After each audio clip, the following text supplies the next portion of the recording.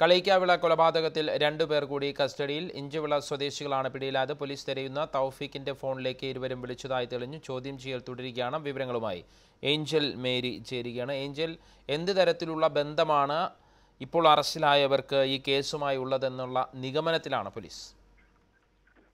Anshad Kaliyakkavila check പോസ്റ്റിൽ A S I വിളിച്ചവരെ വെടിവെച്ച് കൊന്ന ശേഷം രക്ഷപ്പെട്ട അബ്ദുൾ ഷമീം തൗഫിക് എന്നിവരുമായി നല്ല അടുപ്പമുള്ള രണ്ട് പേരാണ് പിടിയിലായിട്ടുള്ളതെന്നാണ് നമുക്ക് മനസ്സിലാക്കാൻ സാധിക്കുന്നത്. ഇവർ ഈ പിടിയിലായവർ ഈ തൗഫിക്കുമായി നിരന്തരം ഫോണിലൂടെ ബന്ധപ്പെട്ടിരുന്നു എന്നാണ് ഇവർ പോലീസിന് വിട്ടിരിക്കുന്ന സൂചന. ഈ ഫോൺ വിളിയുടെ വിശദാംശങ്ങൾ പോലീസിന് കിട്ടിയിട്ടുണ്ട്. തിരുവനന്തപുരം എസ് പിയുടെ ഷാഡോ സംഘമാണ് ഇവരെ പിടികൂടിയിട്ടുള്ളത്. തമിഴ്നാട് കേരള പോലീസിലെ ഉന്നത ഉദ്യോഗസ്ഥർ ഒന്നിച്ച് സംഘം ചേർന്നാണ് ഇവരെ ഇപ്പോൾ ചോദ്യം ചെയ്തുകൊണ്ടിരിക്കുന്നത്. നേരത്തെ തിരുവനന്തപുരം പൂന്ത്ര സ്വദേശിയായ ഒരാളെയും പാലക്കാട് നെയ്പ്പറമ്പ് സ്വദേശികളായ രണ്ട് പേരെയും തമിഴ്നാട് ക്യൂ ബ്രാഞ്ച് പിടികൂടിയിരുന്നു. ഇതോടെ ഈ കേസിൽ ഇപ്പോൾ പിടിയിലായവരുടെ എണ്ണം അഞ്ചായിരിക്കുകയാണ്. നേരത്തെ ദേശീയ ദേശീയ അന്വേഷണ ഏജൻസിയുടെ സംഘം കളയിക്കാവിലെ എത്തി പരിശോധന നടത്തിയെന്നാണ് നമുക്ക് മനസ്സിലാക്കാൻ സാധിക്കുന്നത്.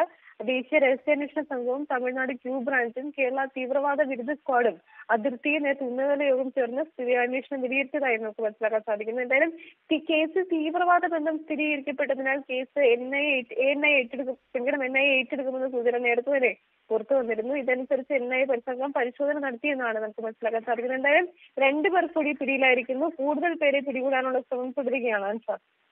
ഏഞ്ചൽ മേരിയാണ് വിവരങ്ങളുമായി.